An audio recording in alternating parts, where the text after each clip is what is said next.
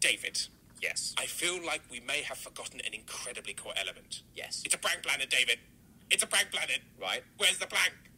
The prank is that all of your food has been horribly emotionally traumatized. Exactly. As you eat it, you taste the sadness, and you're like, mmm, this this this jelly's quite nice.